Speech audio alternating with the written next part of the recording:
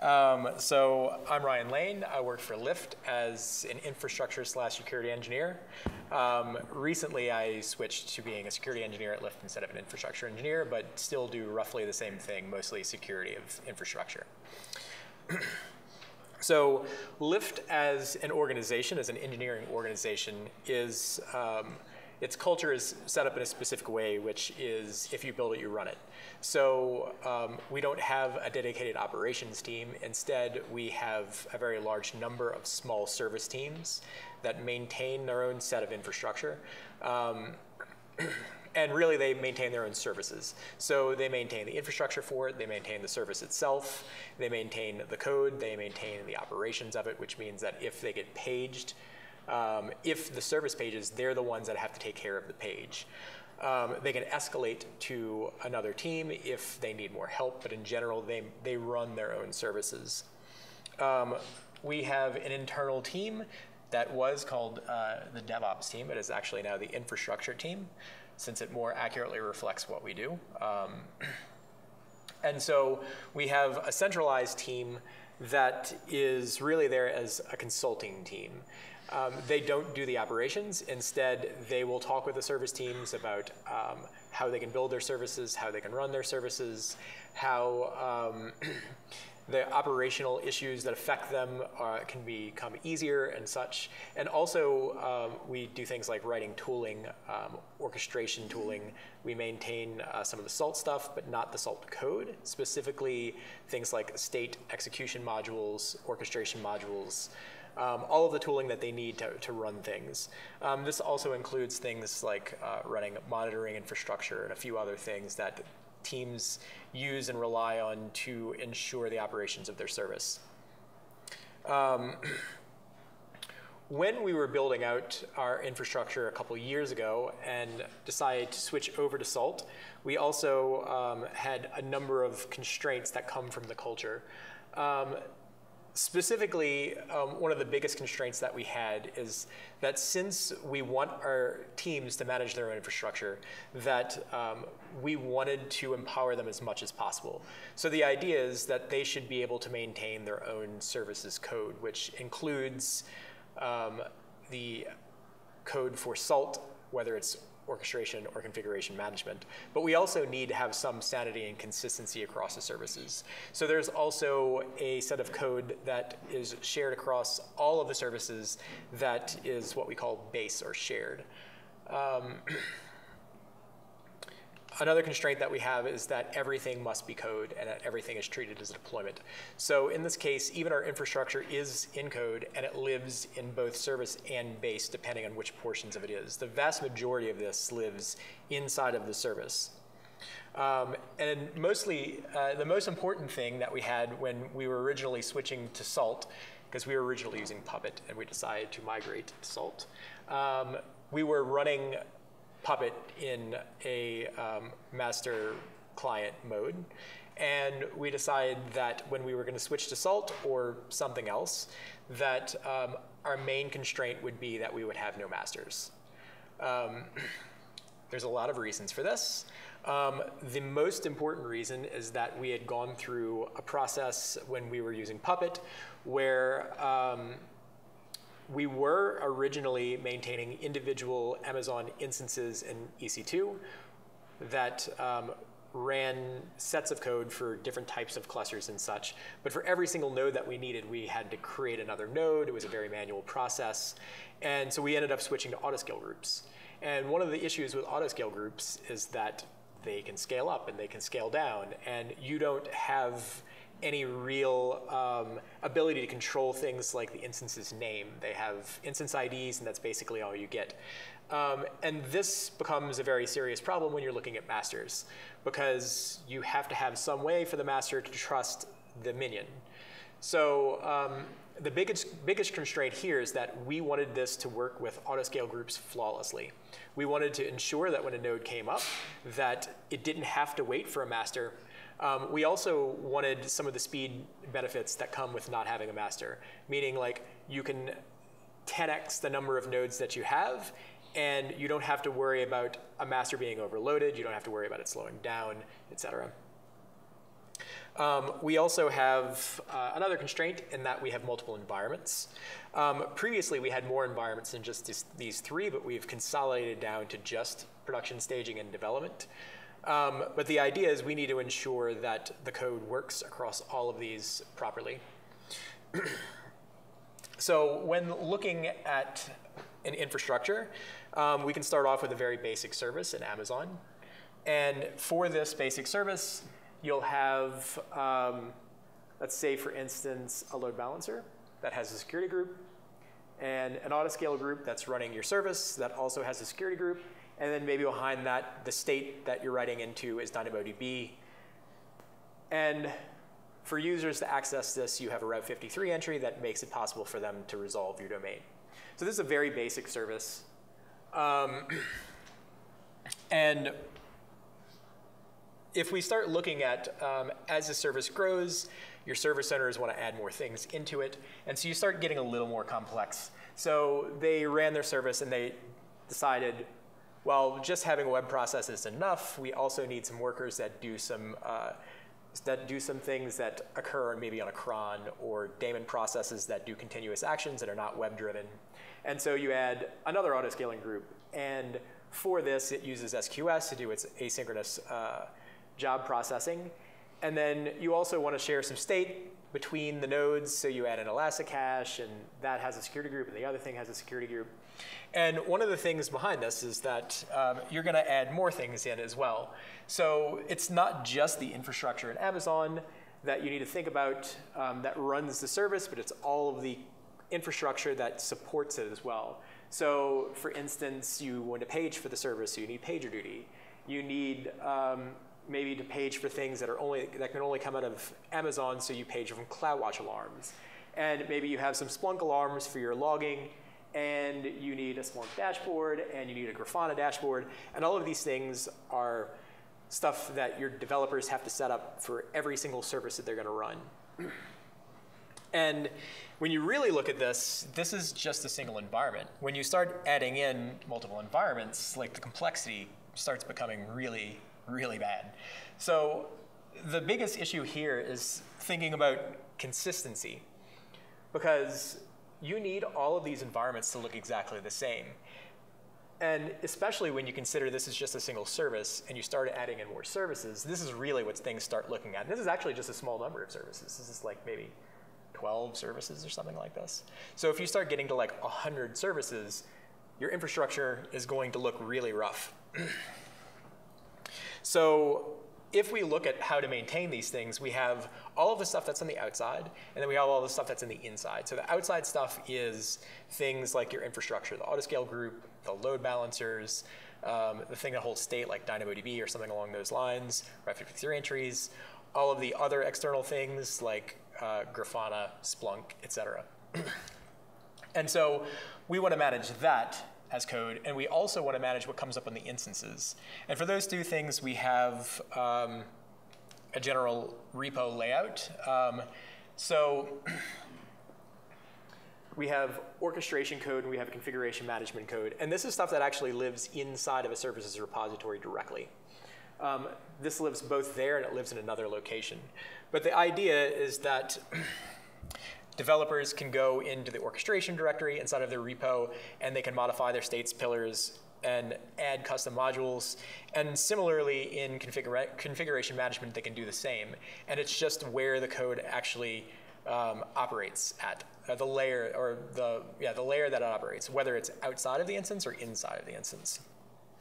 Um, also, we have very explicit naming conventions for our services. So if we look at, at an Amazon instance, we have this naming convention for resources, and we can look at this uh, at, at, a specific instance to kind of break this down to what it is. And the idea is that we have a cluster, which is an autoscale group, and it has a service name, which is example, the service instance, which we uh, use instead of environment, because environment is overloaded in every configuration management system and is bound to cause you problems, um, which is, in this case, is production. Then we have a region, which is IAD. It's mapped from the airport code that's nearest to whatever the data center is. Um, and then we have a service node, which is the instance ID. And, and these names seem very long. How did the load balancers have a 32 character limit? Right. So this is specifically just an instance IDs. Just the instance IDs. Yeah, so, uh, with load balancer. Yeah, I'll show you, I'll I'll show you the, uh, how we do things for the load balancer and the rest of the resources soon. Um, so we actually take these and we break them down into grains. And this allows us to use these grains in both the configuration management but also the orchestration. So looking at an entire cluster, we take this, um, this naming convention and we spread it out to every single thing that we have in Amazon. So for instance, the cluster name is example production IAD. Its ELB name is example production IAD. Um, the autoscale group name is the same thing. The launch configuration is the same thing. The IAM role is the same thing. Each one of the in individual instances is the cluster name with um, the instance ID appended. The SQS queue is the cluster name with the name of the queue appended, et cetera. And so the idea behind this is that it allows us to kind of avoid doing any type of service discovery, um, which when looking at masterless is important. Um, for the orchestration itself, we just use salt states. And the idea behind this is we don't actually have a master, so we have to run this code from somewhere. The general idea is that by making everything salt states, um, all we have to do is we can have this code anywhere. We can just run it. We can run it from a laptop. We can run it from Jenkins, etc. Um, if our Jenkins server dies, we can bring up another Jenkins server. Or if they're totally screwed, we've like ruined everything, we can run it from our laptops. Um, the nice thing is it is completely decentralized from every other cluster that's there. So this is everything that runs from the outside, and this is also what brings up the individual hosts. So in this specific example, um, we're creating an IAM role in Amazon. Um, this just go th goes through uh, the IAM role that's going to live on our uh, autoscale group, and it defines the policy of what that autoscale group is allowed to do. Then we also define the security group that goes along with it that says these are uh, the security group rules that we're going to then attach to an ELB. The ELB itself has um, a set of policy, and one of the things to notice in here, in, in here is that we're using grains, just like we would be uh, using in configuration management. And these grains are broken down by uh, things like the cluster name, and the cluster name is the combination of all of these things, and the service, it's the combination of the service name, the service instance, and the region. And uh, so we can use the individual things from this as well to define the ELB. And one of the, the, things with all of this orchestration code is that um, everything is referencing other things by name for the most part. So instead of having to reference an ELB by its ELB ID or a security group by its security group ID, um, we reference it by the name of those things and it automatically looks up those things as, as they are created.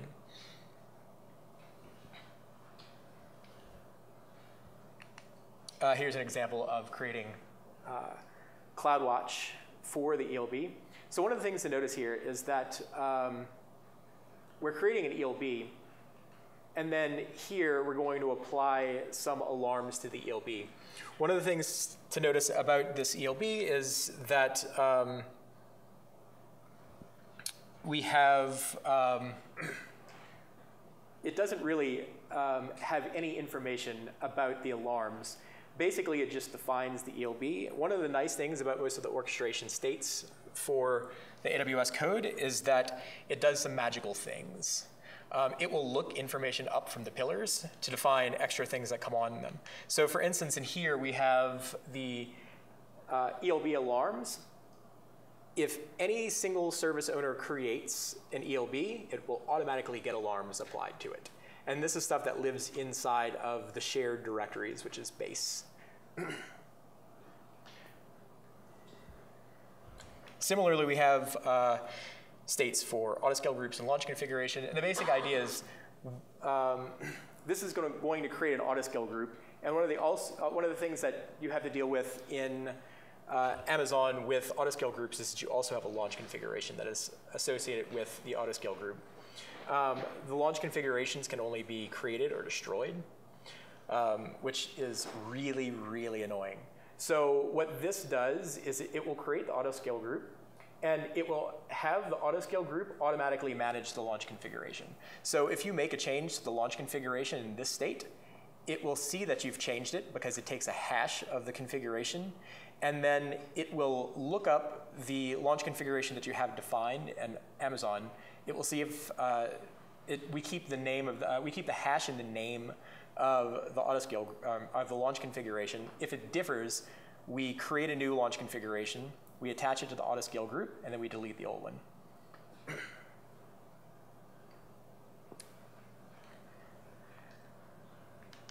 Of course, we also have the ability to attach scaling policies to autoscale groups so they can scale up and scale down. Um, in this particular configuration, we say that if the, uh, this is actually just adding the scale up and scale down policy saying we're going to remove five um, over a period and we're going to add 15 over a different period.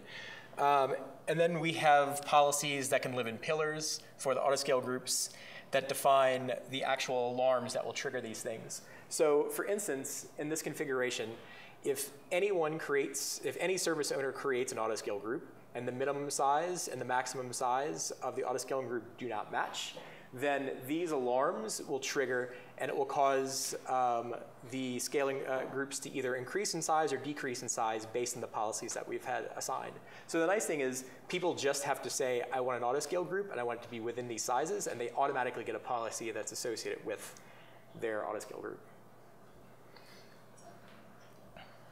Similarly, we have orchestration for Splunk alarms. Um, just basically just um, define based on a log search how it should uh, alert if there are certain things that come up in the logs. Um, we also have orchestration for Grafana. So for instance, um, we have, uh, one of the things that we do is that we have a very consistent set of languages. We do mostly Python, and we have uh, some Go services now, and we have one deprecated PHP service, but we have a very large number of services. So we have uh, a template repo where you can generate new services, and it gets a lot of this code automatically. So one of the things that it also gets is things like Grafana dashboards alerts that are set up by default. And the nice thing about this is that when you generate your service and you launch it, you automatically get dashboards that are generated for your service. Um, and you get all the alarms, you get your PagerDuty setup, et cetera. And in this case, um, this is an example of a dashboard that's auto-generated for a new service. And since it's all standardized, it also has information automatically applied for ELB, autoscale groups, et cetera. This is one of the things of doing uh, proper, uh, very consistent naming schemes. Um, so we didn't add all of these modules, but we did add a majority of these modules. And um, so we maintain the majority of the AWS orchestration code that's in SaltStack right now. Um, it's actually relatively extensive. It's probably more, ex uh, more extensive or comparable to what Terraform currently has. Um, and in some cases, it does things that are a lot more magical than what Terraform currently does. Um, the nice thing about all of these is they're implemented as state and execution modules. So um, you can do all of this as infrastructure as code. You can run it masterless, you can run it from the master. Um, of course, I prefer masterless. Um, but the general idea is that you can run it from anywhere. And I can show you how we do this. We actually use a wrapper script because um, in general, running Salt, um, there's a pretty decent amount of configuration that's required if you want to run it as a non-root user um, from a place where it's not installed through apt or something along those lines. So um, we have a wrapper script that basically just uh, takes a set of predefined configuration, um, puts it into a temp directory, and then um, adds, uh, adds some configuration and some CLI flags that will uh, tell it to use a different root directory to run as a non-root user, um, and a bunch of other like kind of basic setup, for instance, um, locals true to make it local mode. Um, and it tells it where to find its code. Um, then we also have uh, the way that we actually run this. and this is specifically for the orchestration. So we pass in environment variables, and these environment variables get turned into grains. And this is how we have um, the configuration management match the orchestration. So the grains in both places are the same because when we run the orchestration, we pass an environment variable saying, this is how we're going to run uh, the orchestration. Specifically, it's going to be for the example service where the service instance is going to be production. Region is uh, assumed to be a specific region unless you override it. In this case, the region is assumed to be IAD. Um, and then we tell it what code to actually run. So mostly it's just running a salt, uh, the, it's running the salt wrapper, which is calling salt call, and then telling it to run state.sls specifically against the example SLS file inside of the path that's set up.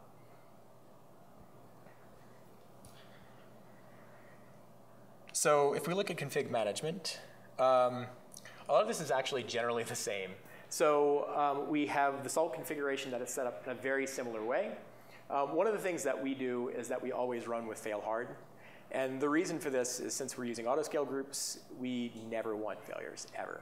And if we have a failure, it should fail. It should fail hard, and it should fail immediately. It should fail deployments. It should cause the node to not come up. Um, and it should send us alerts. We never want the, the node to run salt multiple times and then have it come into a consistent state that way. It always needs to run correctly the first time. So uh, we run with fail hard true. Um, and we specify the file roots, the pillar roots, and the module directories. And specifically, we have um, two different locations this Salt code comes from. One is the service itself, and then another one that, that is the base, which is the common shared code. And this is true for the file roots, the pillars, and the modules. That way, um, the service owners have the ability to override anything that's in base, including um, individual SALT modules that maybe their service needs to override temporarily. uh, we also have a number of external pillars. I will go into this later. Um, this is used for things like secret management and a few other things. Um, since we're not running a master, obviously we can't use pillars from a master, so we have to deal with that. Um, looking at the top files, they're generally very simple. Um, for the pillars, we load the base pillars and we load the services pillars that are specific to the entire service. And then we have overrides if they exist. And so in this case, we're loading pillars based on grains, which in master minion would be something you should not do because it's insecure. But in masterless, it doesn't matter because all of your code already lives in the system anyway. So um, your minion isn't going to get extra code by changing its grains or faking its grains, which you can do in master minion mode. Because in master minion mode, if you restrict the access to your pillars based on a grain, every minion can define their grains as whatever they want and send it to the master. So if you're doing that, any minion can then change the grain and then get pillars from another service.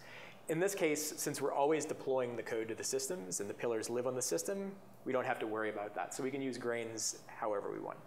So in this case, we are going to additionally add in um, grains based on the service group, which is a combination of service name and service instance. So in this case, example dash production.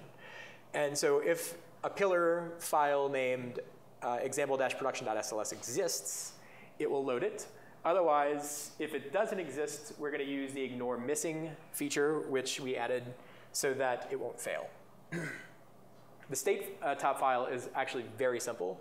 It just loads base and then it loads the service. And then from there, um, the service itself, each one of the individual services just does its own, it includes inside of its own file. This way, when we're doing copies uh, from the service template into a new service, everything looks exactly the same. We don't have to worry about changing those two files. They never have to be changed for any service. They're always exactly the same for every single service.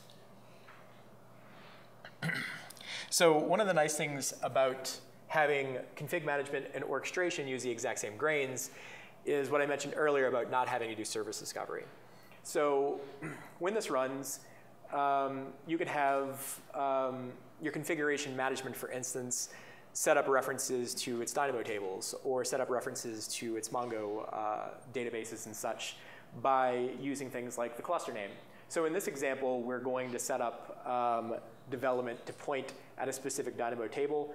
And we know the name of the table, it's the name of the cluster, and in this case, in this case we maybe have multiple Dynamo tables that we've uh, appended the actual name of uh, the table that's specific. But in this case, we can have um, development be example dash development dash IAD dash example table. In staging, it would be example dash staging dash IAD dash example table, and in production, it would be the same, but for production. Um, and the idea is instead of having to run something like etcd or Zookeeper that stores information and state about our clusters, we just reference it by name. so um, one of the things about, about doing uh, masterless is that instead of having a master that, uh, that can be used and connect to that will handle your deployments, you have to have some mechanism of doing your deployments yourself. So for us, our deployment process follows a normal Git style workflow.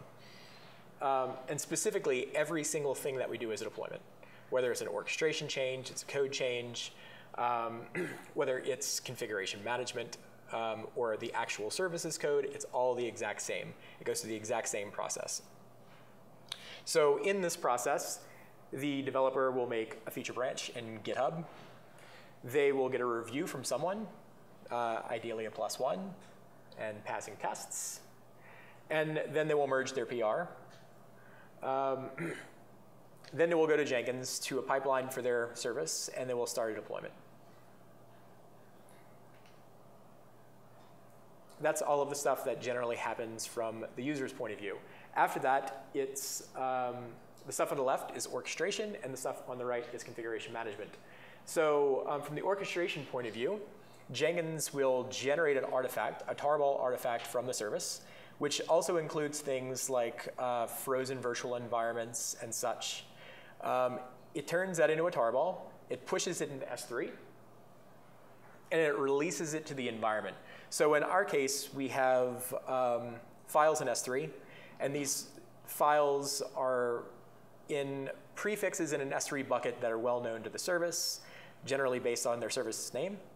And inside of the file, uh, they'll have, or sorry, we'll have a number of files that will be something along the lines of release.staging, release.production, um, deployed artifacts.staging, deployed artifacts.production. And inside of these, they just have git SHAs. And when, so when we release something to an environment, we're just updating the file to change the SHA that's inside of it, saying that for staging, the SHA that you should be running is this thing. Um, here's the, and then we'll also update the other file that says these are the five or 10 git SHAs that you should have on the box so that in the case of us needing to revert a change, it already has the code on the box. It doesn't need to re-download it and things like that. Um, then the last step in the process is to run orchestration. And the orchestration is ensuring that like the autoscale group is set up, the launch configuration is right, the security groups are there, et cetera. And this runs on every single deployment. on the right-hand side, after all of the orchestration has occurred, then we have a cron that runs on every host that runs once a minute. And what it does is it is what we call pull deploy. It checks in S3, it looks at the files that match its service and environment, and it says, is this different than the state that I currently have in the system? And we have this um, state in the system that is this idea of current and next, where current is the current state of the system. It has whatever is currently deployed, that's the last successful deploy of the system, um, that has the services code. And then we have the next state of the system. Both of these are just symlinks, and these symlinks point to uh. So in the case of um, a new deployment, it'll see I needed to change the state of the system. So it updates the, the, uh, the link of the next uh, link to point at the new SHA. And salt is always pointing at next. And the idea is, after it does this, it'll run some pre-deployment hooks, which can be custom per um, service. And then the next thing that it does is it'll run salt. If salt fails, it just continuously tries to rerun. It will always continuously fail because the same exact state will always happen and it'll fail hard at that point in time. Otherwise, if it succeeds, it then switches the current link um, to point at the same thing that the next link is pointing at. And then it will run some post-deployment hooks. Um, specifically in this case, that would be things like restarting the service that's supposed to be running in the box.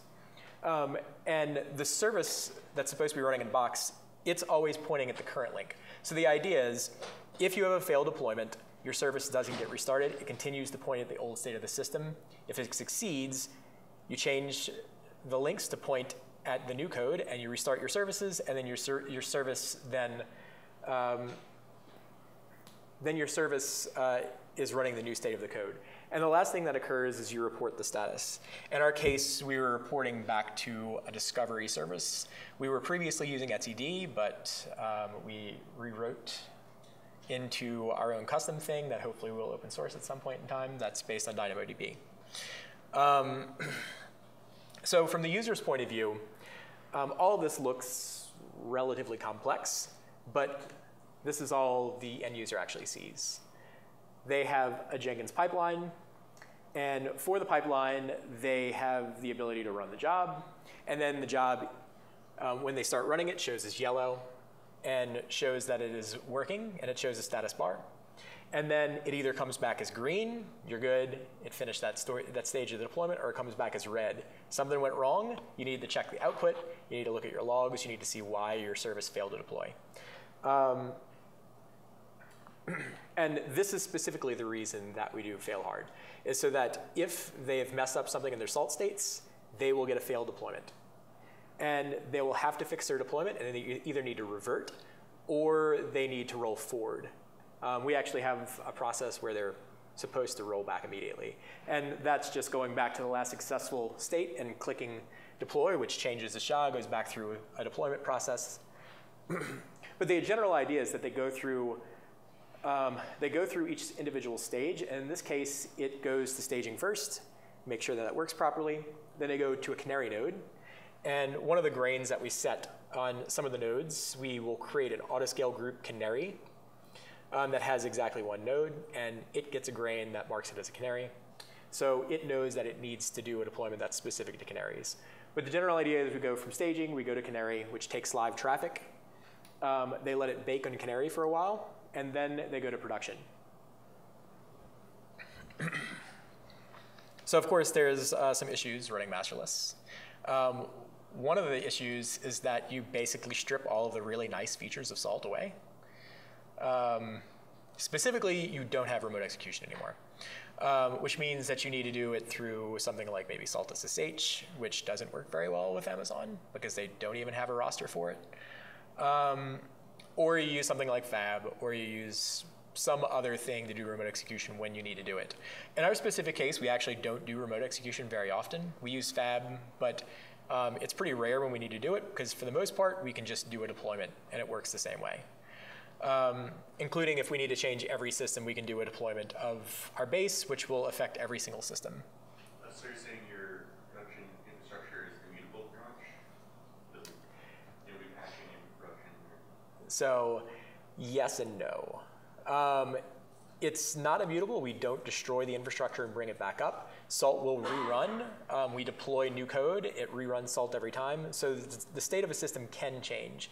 We've tried to make it as immutable as possible um, by doing this next current thing, but it's not really guaranteed. There's a possibility that you've added a salt state that will um, add something, and then if you go to revert, it doesn't remove it, unless you write your code very defensively. Um, and I should, I should have repeated the question, but it was, do we, uh, is our infrastructure immutable?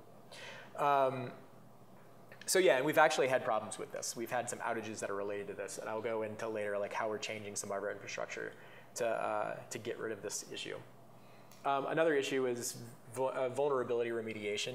Um, this is similar to remote execution. It's very easy to, uh, to patch large sets of systems if you can do remote execution to them because you can just run a command that says everyone update. Um, when you have to do this through salt states, it's kind of a pain in the ass because say, for instance, you need to ensure a, a specific version of uh, a package is there, at least in Ubuntu, your only options are to use latest, which is a terrible idea, um, especially because it will force an apt-get upgrade, uh, an apt-get update every single time Salt runs, which is incredibly slow and also eats a lot of CPU. Um, or you need to lock to a specific version, which also means if you leave it there for a long period of time, that that version may disappear, and then your salt start, states start breaking, and people don't really know why. Um, is actually a generally hard problem that's uh, not totally sure how to solve. Um, then there's also vulnerability tracking. Um, one of the nice things about having remote execution and SALT um, is that you can have jobs that run on your Salt master that check the state of all of your systems to see if they've been patched for things, or if they meet, um, or if they have all, if they have resolved all of the CVEs. For a lot of these things, you can um, at least for the tracking, there's alternatives that you can do instead of having something that runs in a master. You can, if you're already doing some form of discovery where you're, you're reporting status back during your deployments or things like that, you can also report back on things like CVEs and such. Um, and there's also service discovery. So um, you get a bit of service discovery with a master, and when you have no master, now you have to re-implement this yourself. Um, I actually don't see that one as a large issue because I don't think SALT's service discovery is actually very good. And I think most people that are doing anything are probably using etcd or Zookeeper or something along those lines for service discovery anyway. Um, another issue with masterless is secret management. Um, so with a master, you at least get some form of secret management where you can define stuff in pillars and then you can restrict sets of pillars to sets of hosts um, when you're running masterless, you don't have this anymore because you have to deploy all of the code to every one of your systems. And then you have to consider how am I going to get a set of secrets out to a set of servers and ensure that only those set of servers have these secrets. Um, in our specific case, we wrote a secret management system. Um, it's called Confidant. It's open sourced. Um, it is specific to AWS. If you are running and you're only in AWS, then you should consider using this. It's great. Um, but it's similar to things like Vault or Keywhiz. Um, the general idea here is that um, an individual cluster and the nodes in the cluster can, through external pillars, get uh, secrets that are specific to them that then can live on the host. This is actually one case where masterless is better than master minion because you can't use Vault or uh, Confidant or Keywhiz or any of these systems with master minion, at least in a way that's generally secure or good. Um, and that's specifically because external pillars, or just pillars in general when you're using master minion, are all live on the master. And the master is assumed to have access to all of the pillars. And then the minions get access to a subset of those pillars. Whereas in this case, your minion is actually acting like a master. So um, when the minion goes to get its external pillar values, it's actually just getting it for itself. So in this case, it's already getting something scoped. It's talking directly to the secret management system instead of talking to a master that's talking to a secret management system. Um, and in fact, I don't even think it's possible right now for Salt to uh, work with Vault or Confidant in Master Minion due uh, to the way that it's implemented. I have a bug open for this that hasn't been fixed yet, but um, in my case, I don't really care because I'm doing masterless anyway. Um, There's uh, a few masterless wins, of course. Um, one is that you don't have to do any node registration. You don't have to worry about key management at all. Um, because your nodes come up in an autoscaling group and they download their code from S3 and they just run. Um, which also means that you have less external dependencies and less possibility of um, of things failing that will cause you to fail to scale. So for instance, uh, you don't have to worry about scaling your master. So if for, if for instance you have uh, a spike in traffic and now an autoscale group grows from 10 nodes to 100 nodes, um, you don't have to worry about your master not being able to scale with that and failing and causing all of your nodes to fail and then you having an outage. Um, you also don't have to worry about master HA, which in Salt, at least currently, I think in the next version they're making this better from what I've been told. But at least in previous versions, getting master HA to work is very, very difficult um, and generally doesn't work. And lastly, as I mentioned, secret management. Um, so one of the things that, um, that we do that's a bit weird currently is that um, we, in, for development and test and CI, we're using uh, Docker. Um, and this is specifically so that we can test a number of services together in a single box. So in development, it will be user's laptop. It'll run a Vagrant virtual machine, and inside of that, we'll have Docker. And then we actually build the Docker containers using Salt, or the images. So um, each one of the images is based on the Phusion base image uh, image that you can download from the Docker registry. And this runs uh, a fat container. So at least currently we're not going with a thin container model. And um, each one of these services runs basically as a full virtual machine except they're containers. And through this, we have all of these linked in some way that are also accessible from the developer's laptop. So we can essentially run all of Lyft on a laptop. we also have the same thing in AWS. And on this, we have an AWS instance that runs Docker that is running the same set of containers. Um, so as I mentioned, um, we are running Docker plus Salt using the Phusion base image we have a Lyft base image that everything is based off of. And then to generate the service images, we don't use Docker files at all. Everything is Salt code. And the way this works is that instead of doing a Docker build to build the images, we do a Docker run to run a container, which will run Salt. And then when that finishes, we do a Docker commit, which gives us back an image. Um, those get pushed into the Docker registry, and then past that, people get to pull the images and run them like they would be normal Docker-built images. Um, we use tags for versioning of the individual containers. so this is actually not what we want to do in the future. Um, in the future, we're actually uh, already moving to this. Um, previously, we were doing Docker for development and CI, and um, we had some issues in production where running salt on instances that are long-lived is not necessarily immutable. And this has caused us some issues where um, we would push something out through base. Um, maybe someone didn't canary it well enough, and um, then they go out to prod, and then every single service breaks at the same time. And they've done it in such a way to where um, something they did added something, and then they go to revert, and it doesn't get removed. And then in this situation, then we have to rebuild the entire fleet. Um, we have actually done that. it's not fun, but um, thankfully, due to the way that we do master, uh, we do that we do masterless, rebuilding the entire fleet in in our situation is um, telling Amazon, I want you to remove or detach every instance from every single autoscale group, which then Amazon says, um, it detaches them, and then it notices that none of their autoscale groups have any instances in them, which will cause Amazon to rebuild every single one of the instances, basically doubling the number of instances you're running. When those come up and register, then you can delete the old ones. um, so due to this fact, um, we have, we're starting to move away from doing uh, SALT for configuration management. Instead of doing uh, SALT for configuration management on long-lived hosts, we are doing uh, Docker images that are the same between development, staging, and production. They all use the exact same image. Um, and Salt only manages the hosts. And specifically what it's managing on the host is things like users, uh, security patches, um, but none of the service code and none of the stuff that really is crucial for the system to run is, is being managed by Salt on the host. Instead, those are being run um, those are being run inside of uh, Docker containers that are downloaded from images from a registry. Um, so in this specific case where Salt is managing the host, we're also doing something slightly weird there.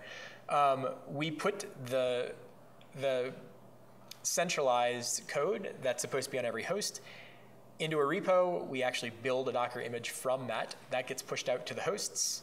Um, when the container runs on the host after it's downloaded that image, it writes salt SLS code out into a, um, into a volume mount and adds some touch files. We have a cron that runs that checks every once in a while whether the, uh, the touch files exist. If they do, it runs salt against the code that's on the file system. Um, and then otherwise, if the touch files don't exist, it just exits. So um, we're even pushing out the salt code through Docker images uh, for managing the host itself. Um, so if we look at how things change here, instead of um, salt managing the Docker containers, the Docker files themselves are being, uh, the Docker images are being maintained by Docker files. We have Docker containers that run inside of a, a virtual, uh, a Vagrant virtual machine, and the Vagrant virtual machine itself is managed by Salt. Um, this is similar for CI.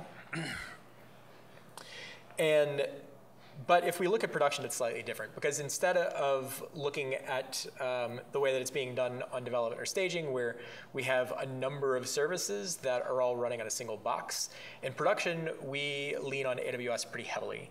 So instead of doing something like Kubernetes, where um, we have a large scale of fleets that all look exactly the same, um, we still go on the concept that a single autoscale group is a single actual service that's running a, an, an, actual Lyft production service.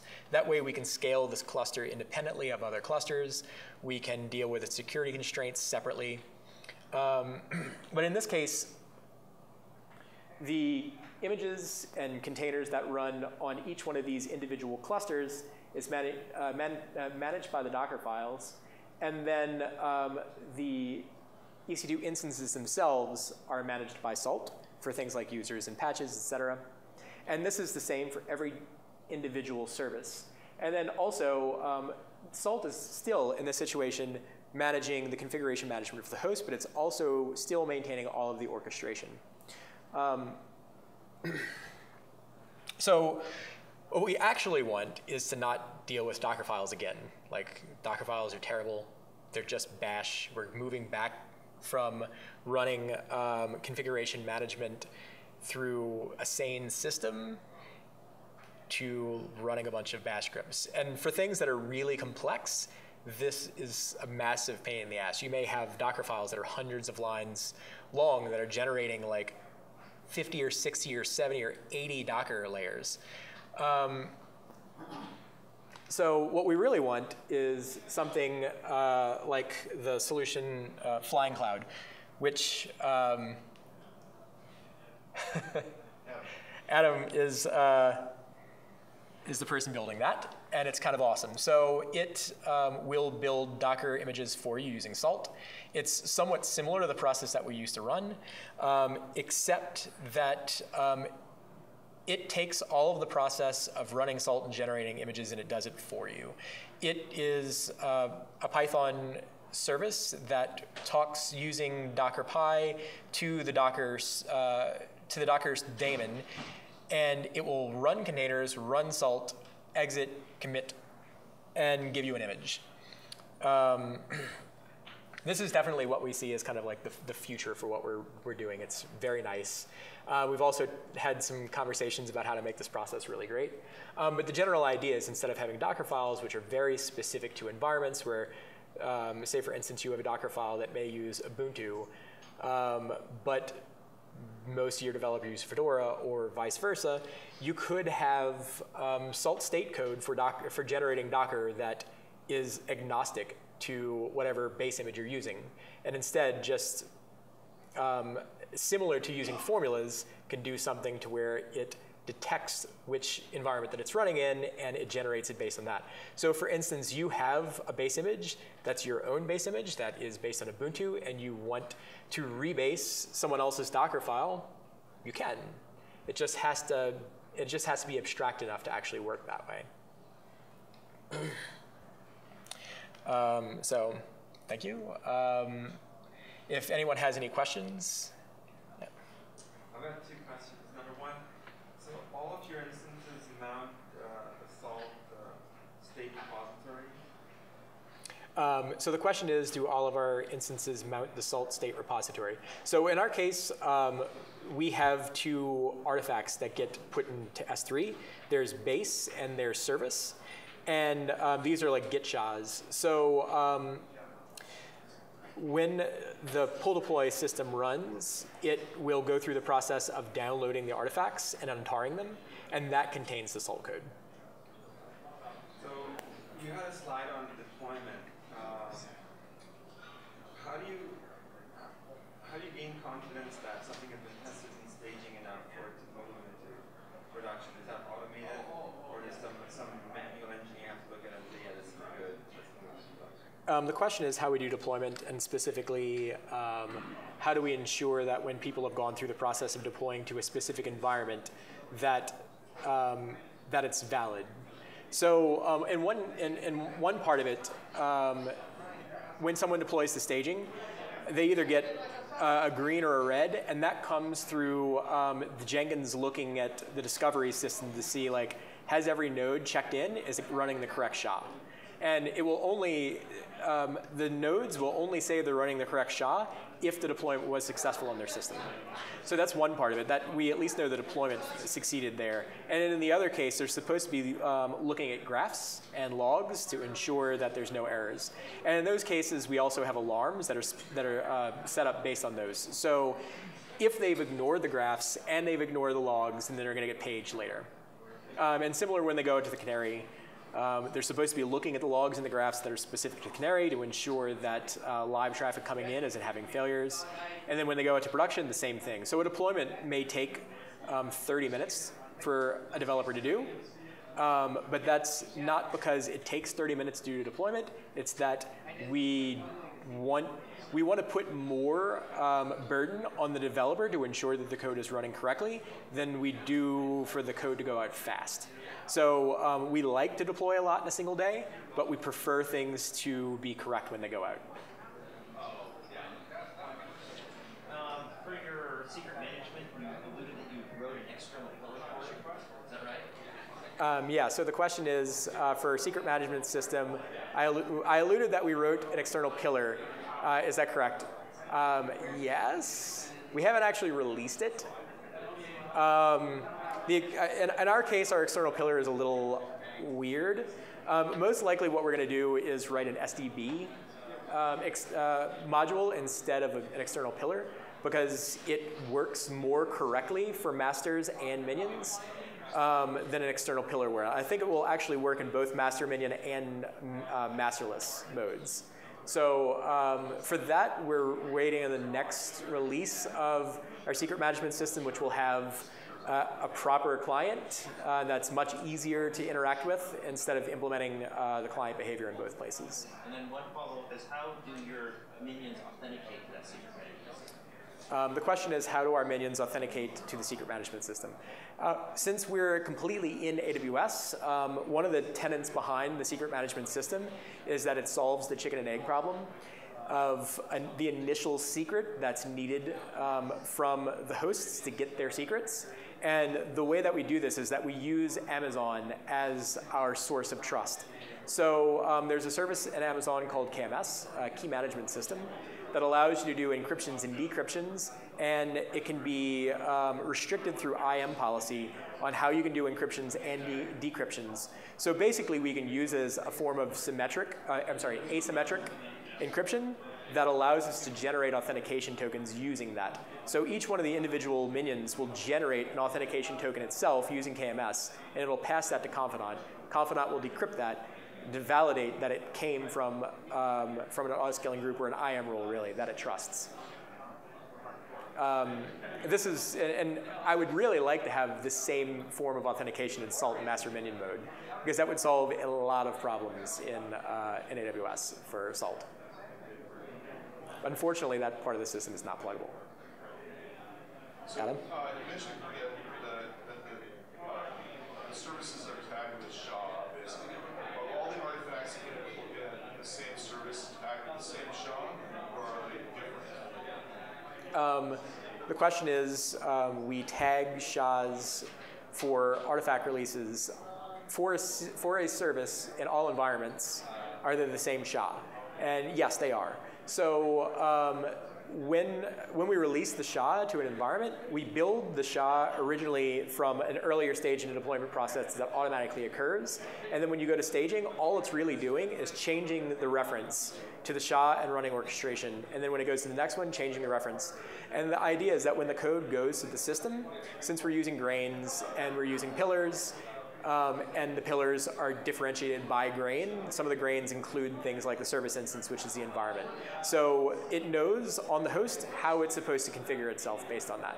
So, so then, like a service might be made up of several different Docker images, and they would all be tagged with the same SHA. Um, the question is, a service may have a number of different images, but they do they still get tagged with the same SHA? So uh, no. So in the case where you have um, where you have the service and then you have base, um, they have different SHAs because they're actually different services. They're, they're deployed out to the same system, but they're treated as different artifacts.